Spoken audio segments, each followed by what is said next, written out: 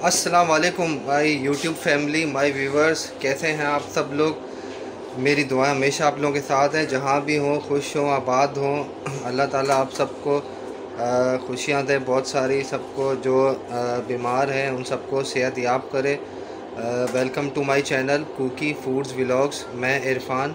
तो आज का जो है, बहुत ही स्पेशल रेसिपी है बीफ शामी कबाब तो वैसे तो हमारे कंट्री में मैं पाकिस्तान से हूँ।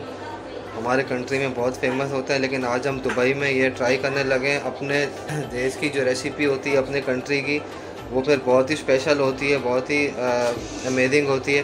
तो मैं यही कहूँगा कि आप लोग भी ज़रूर ट्राई कीजिएगा। बहुत से बहन भाइयों को आता भी होगा। तो मैं आइए, मैं आपको इसके इंग्रेडिएंट्स बता देता हूँ क्या क्या है। लेकिन व्लॉग को शुरू करने से पहले जिन्होंने अभी भी मेरे चैनल को ज्वाइन किया है जल्दी से सब्सक्राइब कर लें लाइक कीजिएगा शेयर कीजिएगा और कमेंट्स में लाजमी बताइएगा कि आपको कैसी लगी। आइए शुरू करते हैं। मैं आपको इसका इंग्रेडिएंट बता देता हूँ क्या है। ये टू के जी जो है बीफ सबसे पहले टू के जी बीफ है। इसको हमने इसमें लिया डेक्ची में लिया और ये है चने की दाल है।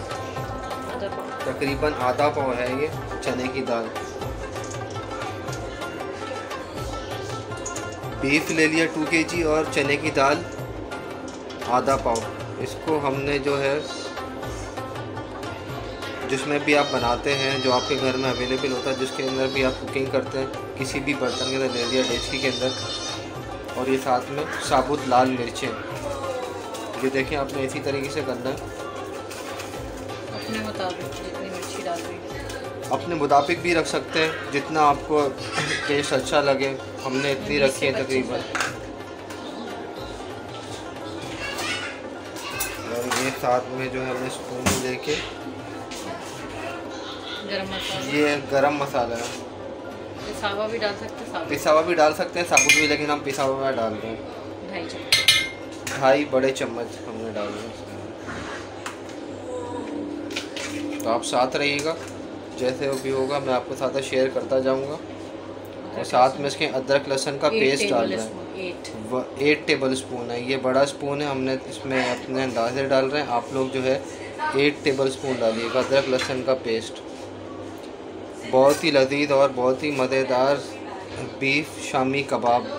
ये अब हम इसके अंदर सॉल्ट डाल रहे हैं नमक। ये देखें आपने इसी तरीके से डालना है। दो हो गए। ये तीन हो गए। तीन टेबल स्पून आपने सॉल्ट डालना है इसके अंदर। फिर इसको आपने अच्छी तरीके से मिक्स करना है।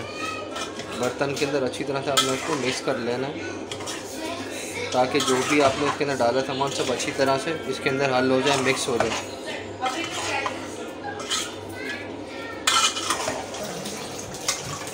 अब इसको इस तरह से जो है पानी के अंदर भी इसको इस तरह से मिक्स करना है। तो बहुत ही इम्पोर्टेंट है, आपने इसी तरह से करना है इसको।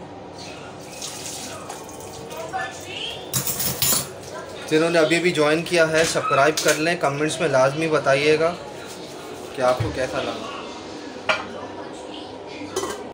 तो व्यूवर ये देखें बीफ शामी कबाब जो है, उन, उसको हमने जब पानी के अंदर अच्छी तरह से मिक्स किया था, उसके बाद हमने इसको चूल्हे के ऊपर रख दिया अब ये पकता रहेगा उसके ऊपर ही ताकि ये अच्छी तरह से बॉईल हो जाए।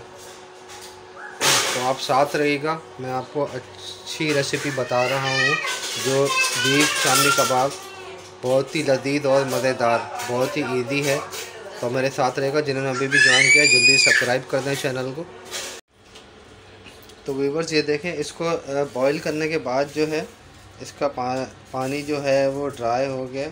और फिर उसके बाद जो है इसको ये सिल बट्टे के ऊपर जो है इसको पीसेंगे। सही तरह के।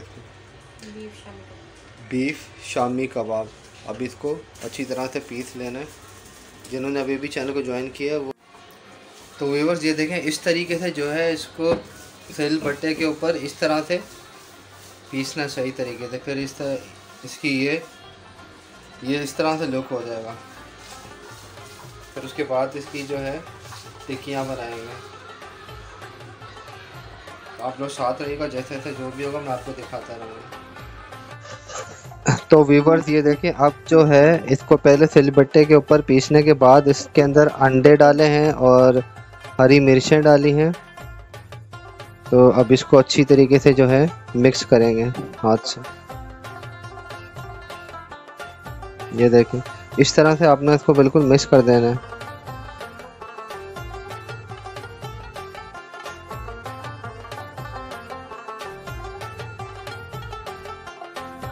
ये पा, पाकिस्तान के जो है ये भी स्पेशल है। तो अभी दुबई में भी बन रहा है। तो व्यूवर्स ये देखें इसको पीसने के बाद ये कबाबों को जो है हाथ से इस तरह से गोल गोल टिक्कियाँ बना दी ये देखें, मैं आपको दिखा रहा हूँ बिल्कुल नज़दीक से। अभी देखने में इतने खूबसूरत लग रहे हैं, जब फ्राई होंगे तो फिर कितने लजीज होंगे। ये इस तरह से जो है इनकी टिकिया हाथ से बना ली ये है। तो फाइनली व्यूवर ये देखें, अब इस तरह से फ्राई करना है कबाबों को। अच्छी तरह से डीप ऑयल के अंदर डाल कर इस तरह से फ्राई होंगे, बहुत ही अच्छी खुशबू आ रही है, माशाल्लाह। इस तरह से फ्राई होंगे, और ये हमने कुछ फ्राई करके रखे हैं इसी तरह से। ये देखें। ये मैं आपको दिखाता हूँ।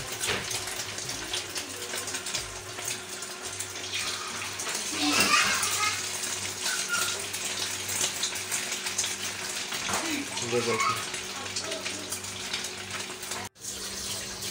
तो मेरे प्यारे व्यूवर्स आज का जो है, शामी कबाब का व्यूवर्स बस यहीं तक ही था। उम्मीद करता हूँ कि आप सबको जो है अच्छा लगा होगा। कमेंट्स में लाजमी बताइएगा। और इसी तरह से जो है, आप सबका बहुत बहुत थैंक्स कि इतने अच्छे कमेंट्स देते हैं और साथ रहते हैं। मिलते हैं फिर अगले नेक्स्ट वीडियो में। जब तक के लिए अल्लाह हाफिज़। अपना बहुत सारा ख्याल रखिएगा।